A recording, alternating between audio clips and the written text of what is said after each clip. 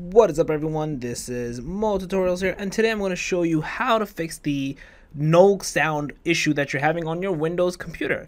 So the first thing you want to do is you want to actually go into the search bar and type in computer management.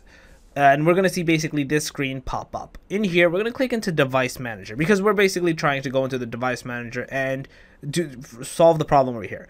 We're going to open into the sound and video game controller. So this is where obviously the sound, the drivers are, and we're going to basically reinstall them or just delete them or update them, whatever applicable. So find whatever one is for you. So let's say it's this one over here. Obviously it says everything's working properly. Maybe you want to click update driver, and just let it search automatically for drivers. It'll automatically look. It'll tell you if you have the latest one or not. Let's say it does say that and it says working properly.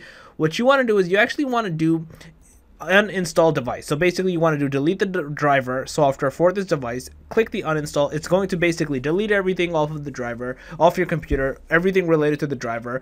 What you want to do next is you want to basically restart your computer. It'll re either come back to the screen and press update driver or just give us some time it'll automatically do it itself also if not i would actually advise you to come here click the update driver let it reinstall and let it re-download basically re-download and reinstall because doing that is what is going to basically help fix this issue because again it's this most of the time it's probably because the driver got corrupt it's not working and you doing this will actually resolve the issue even if it says it's working properly because obviously if it's can't hear it, it's not working properly. Uh, so that is what you basically need to do to be able to fix this issue. So yeah, that's basically it. If you guys overall like this video, please smash that like button, helps a lot. If you guys are new to the channel, make sure to subscribe and click that notification bell. and that, Moe Tutorials out.